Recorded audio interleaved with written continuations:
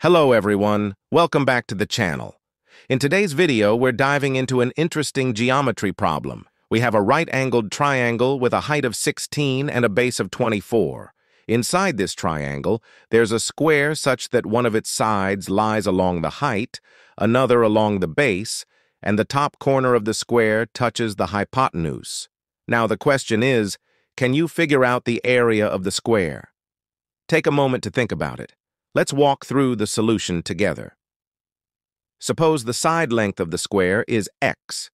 That means the vertical segment above the square is 16 minus x, and the horizontal segment to the right of the square is 24 minus x. Now focus on the two small right-angled triangles formed.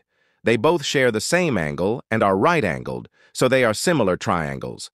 Because of this, we can write the proportion, 16 minus x divided by x is equal to x divided by 24 minus x. Now cross-multiplying, x squared is equal to 16 minus x times 24 minus x.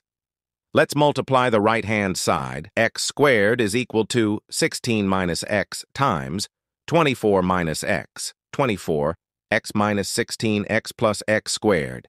Now simplify.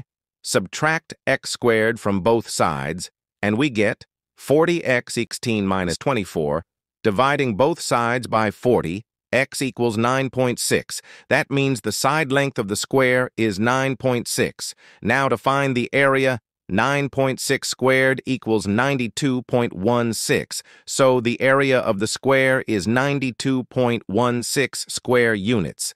And that's our final answer. But wait, before you go, here's one more challenge. Can you find the area of the square in terms of A and B, where A and B are the legs of any right triangle?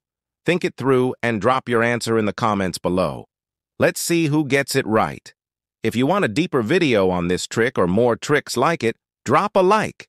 If this video gets 100 likes, I'll make another banger.